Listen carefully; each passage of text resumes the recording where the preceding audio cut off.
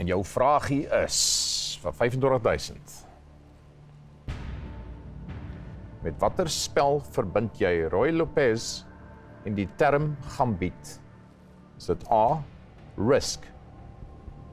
Is dit B poker? Is dit C brug? Of is dit D skaak?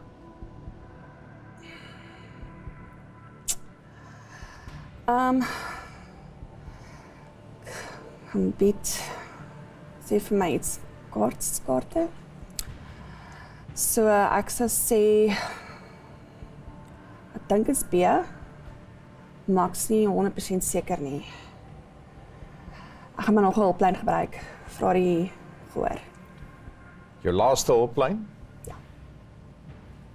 Hooplik gaan die gehoor jou kan help met jou R25000.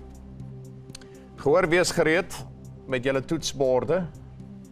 Kom ons kyk of julle vir Janet met die antwoord kan help. Die vraag: Met watter spel verbind jy Roy Lopez en die term Gambit? Is dit A risk, B poker, C brug of D skaak?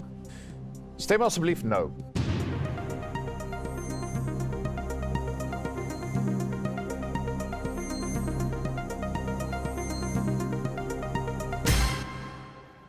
Hier's die uitslag. Okay.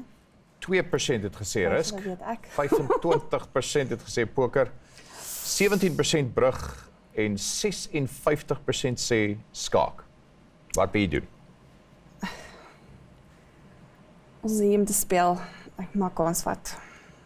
Maar nog luister vir die gehoor. Hulle was hier vorige ronde reg nie, maar miskien is hulle nou. OK. Die skaak finale antwoord. Die skaak finale antwoord.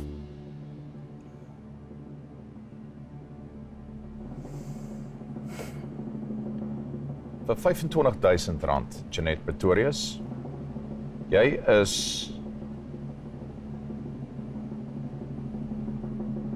korrek.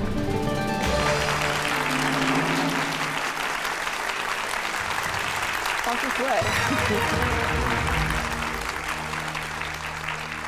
Queen's Gambit.